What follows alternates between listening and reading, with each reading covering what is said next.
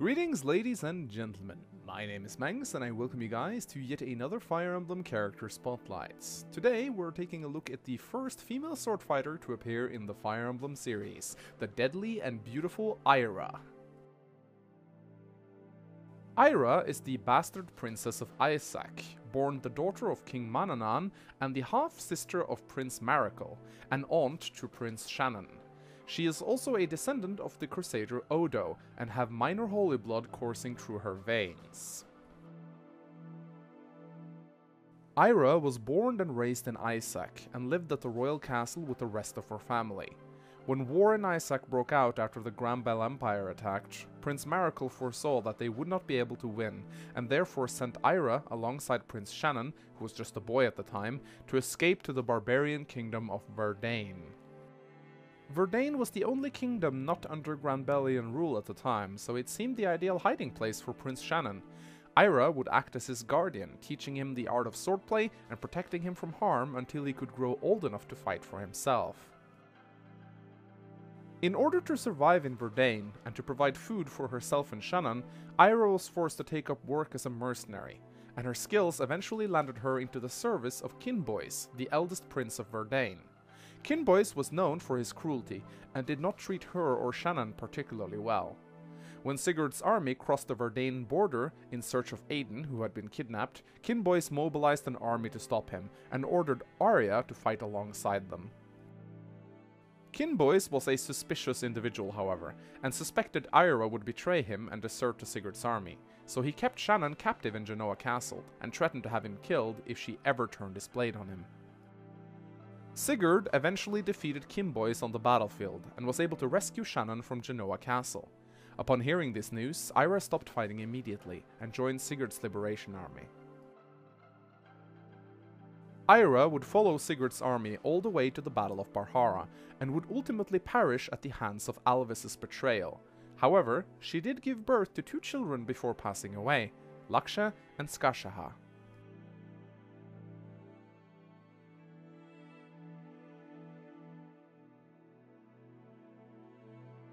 Ayra has the true look of a woman from Isaach, with long, wild black hair and brown eyes. She stands around 5 foot 6 tall and has a slim but elegant physique, with particularly long legs. She is considered extremely exotic and beautiful.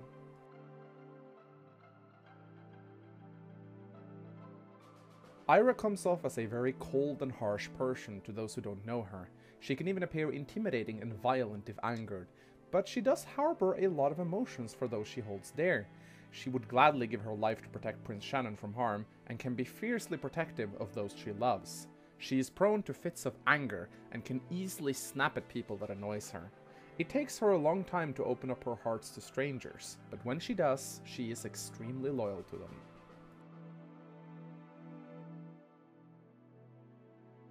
Ayra joins you pretty early on in chapter 1 after the prologue, making her availability pretty good. She can be somewhat tedious to recruit, as you have to keep her alive prior to liberating Genoa Castle, but it's not an impossible task, as you just have to utilize someone with superior movement, such as Sigurd, to bypass her, or simply lure her away from the position with other units. As a unit, Ayra is a glass cannon in every sense of the word. With amazing base skill and speed, she can easily kill anyone in single combat thanks to her pursuit and Astra skills, making her a spectacular boss killer. However, due to her low defense and resistance, leaving her out on the battlefield to take multiple hits on the enemy face can get her killed pretty easily. In particular, lance-wielding cavalry and magic users is not something she should go up against on her own. Ayra's growth rates are not that great. Her skill growth is high thanks to her minor Odo blood, and she will most likely cap it very quickly. Her other stats, on the other hand, are not likely to grow as fast, but she does have some pretty insane promotion gains when she promotes into a Swordmaster. However, Ayra isn't dangerous because of her stats, but because Astra is on steroids in Fire Emblem 4, and is basically an instant kill for most enemies it procs against. You can basically view it as a silencer skill. Her Nihil does not contribute a lot to her survivability, Enemies that possess sword skills or even have the ability to land critical hits are extremely rare, particularly in the first generation, so you will rarely ever notice it most of the time. Being locked to swords, it is very important to arm Ayra with a large arsenal of different blades. An armor cutter is essential, as the first generation is packed with enemy armor knights, generals and barons. A slim sword is also very handy to have, as you'll also encounter a lot of mounted units. With these swords, Ayra can easily take down even the most durable of foes, as the critical damage in Fire Emblem 4 is multiplied before defense, making them devastating against heavily armored enemies. Ayra can also make great use of blades if her strength refuses to grow. As her speed is so good, she will most likely double most enemies she'll encounter despite being weighed down.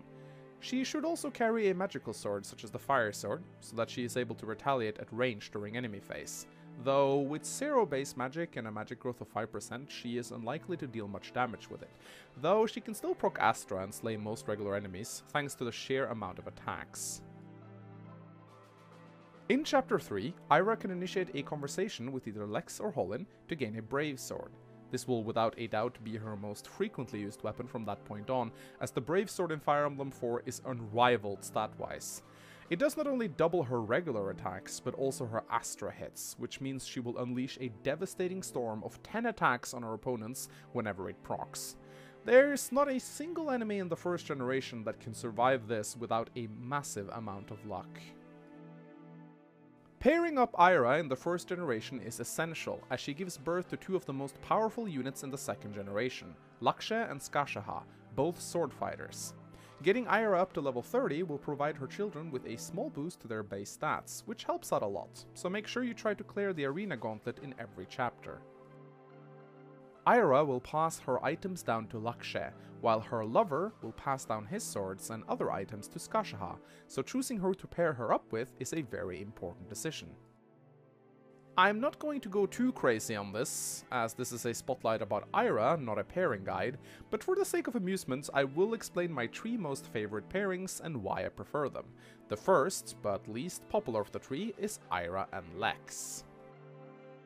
This pairing provides both children with Paragon and Vantage, which will cause them to level up much faster, as well as attack first on retaliation strikes whenever they're on half health or below, something that can absolutely save their lives.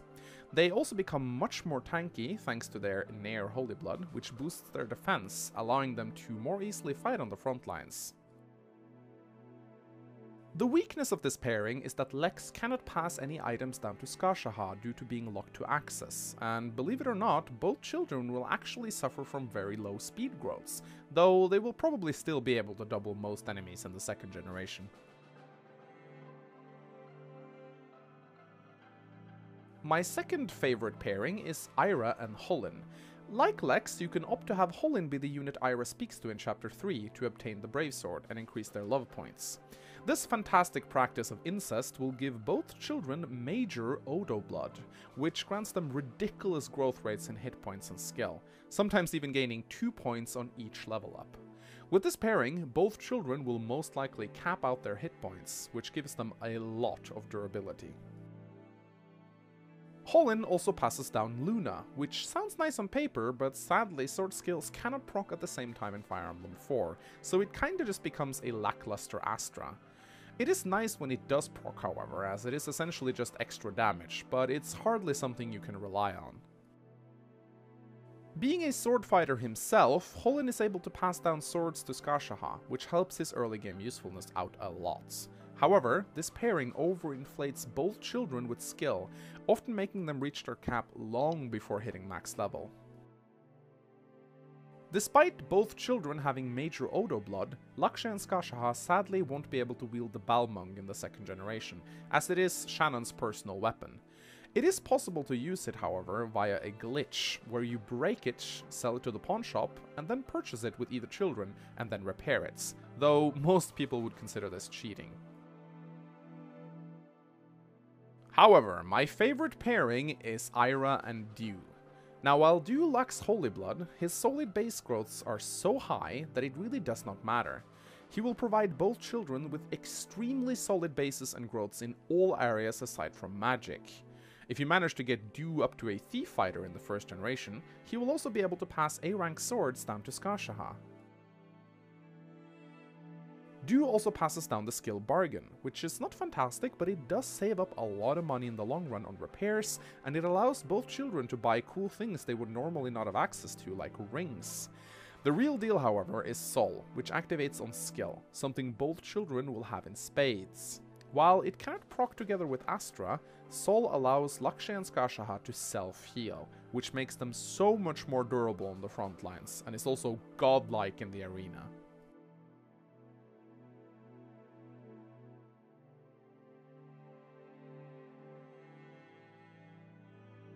For whatever reason, Ayra starts out with a large amount of love points with Claud, so be very careful to keep them far apart if she's yet to find her lover, because you absolutely do not want this pairing. It's horrible.